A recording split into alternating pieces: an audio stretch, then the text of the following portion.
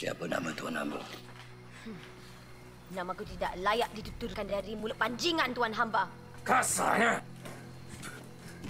Kalau tidak beradab begini, harus diajarkan bagaimana menghormati laki-laki. Jangan sentuh puteri! Awas. Kawal nafsumu.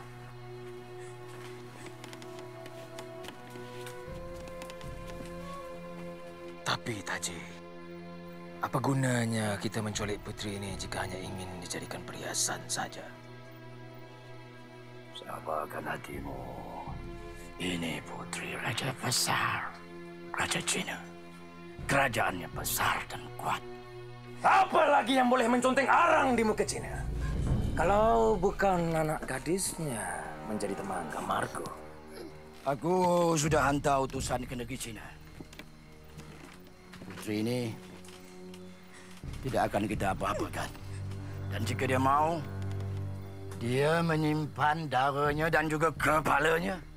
Kita Garuda akan diberi seribu tahil emas sebelum dua purnama.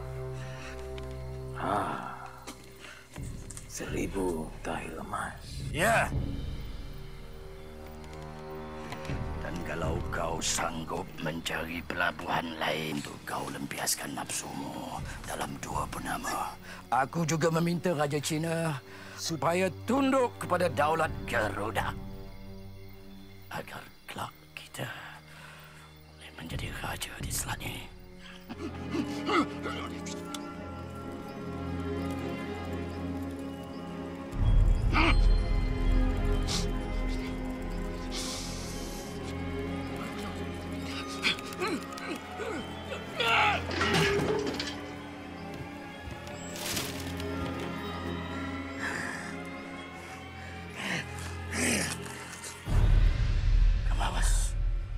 kita bakal diserang.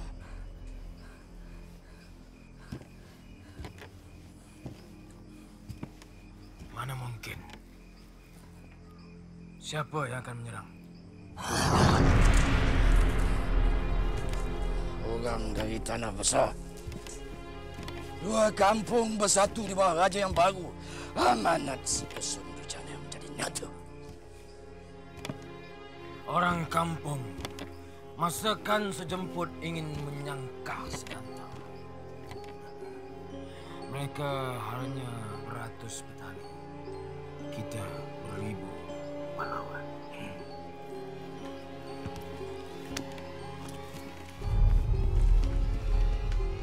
Amalanku mengatakan kalau kita lepas halangan ini, maka seluruh selat akan menyembah diri. Dah, apa yang kau karutkan? Jatuh! Dan Garuda tak akan bangun lagi di muka bumi ini. Ingin menakut-nakutkan aku seperti anak-anak kecil di agak pelong. Jangan kau biarkan mereka mendarat di sini. Takkan aku melayari tengah malam buta dan membiarkan kau dan putri itu berdua.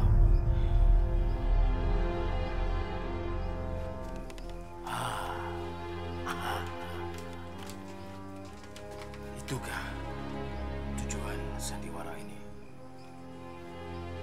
Awas. Jangan lupa kekebalanmu atas ihsan azimatku. Hilang tangkal. Hilanglah kebal. Jangan lupa.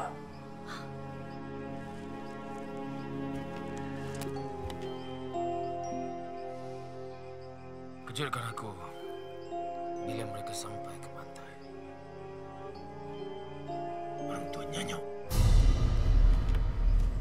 Kemawas. Pergi serang. Dikala penuh ketakutan dengan